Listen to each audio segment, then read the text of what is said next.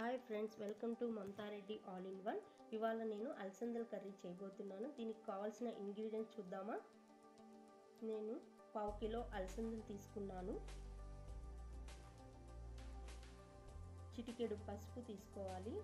One cup potatoes తీసుకున్నాను. Two spoons ధనియాలు two spoons కారం మీడియం సైజు ఆనియన్ తీసుకున్నాను. వన్ కప్పు టమాటా ఉప్పు తగినంత నాలుగు ఎండుమిర్చి హాఫ్ కప్పు శనగిత్తనాలు తీసుకున్నాను. కరివేపాకు ఆవాలు తీసుకున్నాను. మిక్సీ జార్ తీసుకొని ఎండుమిర్చి శనగిత్తనాలను పౌడర్ చేసి ఉంచుకోవాలి. ఈ పౌడర్ అంతా కప్పులోకి తీసి ఉంచుకుందాం. స్టవ్ ఆన్ చేసి ప్యాన్ పెట్టుకొని త్రీ స్పూన్స్ వరకు ఆయిల్ తీసుకొని ఆయిల్ హీట్ ఎక్కాక ఉంపుకి సరిపడ్డ ఆయిల్ సరిపోతుంది. ఆవాలు ఆనియన్స్ యాడ్ చేసి కాస్త వేగనివ్వాలి. కరివేపాకు కూడా వేసుకొని కాస్త వేగనివ్వాలి.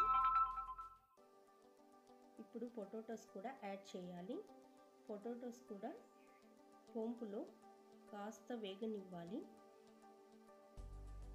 కాస్త వేగిన తర్వాత అలసందలు కూడా యాడ్ చేసుకొని అన్ని పోంపులో వేగేలా కలుపుకోవాలి.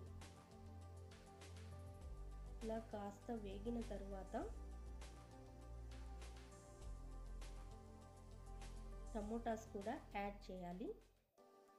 టమోటాలు కాస్త మగ్గే వరకు మనము ఇలా వేంపుకోవాలి.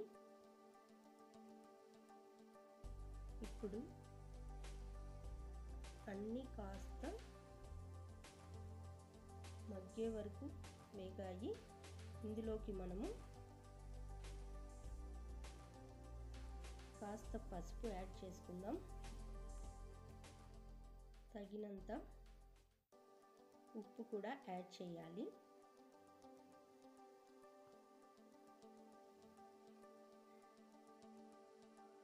దాని టూ స్పూన్స్ ధనియాల పొడి తీసుకోవాలి. నెక్స్ట్ టూ స్పూన్స్ కారం పొడి కూడా యాడ్ చేయాలి. ఇప్పుడు మసాలా అంతా బాగా కలుపుకోవాలి. ఇలా కొద్దిసేపు బాగా వేగనివ్వాలి. కాస్త అంతా మసాలా వేగిన తర్వాత టూ కప్స్ వాటర్ యాడ్ చేసుకోవాలి.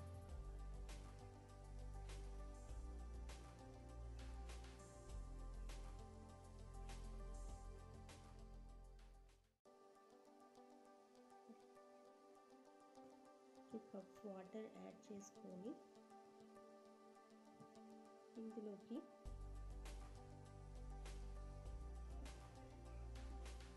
శనిగిత్తనాల పౌడర్ చేసుకున్నాం కదా అది కూడా టూ స్పూన్స్ యాడ్ చేసుకోవాలండి. ఈ మసాలా అంతా బాగా కలిసే వరకు కలుపుకుందాము. ఇప్పుడు ఒక టెన్ మినిట్స్ వరకు ఉడకనిద్దాము.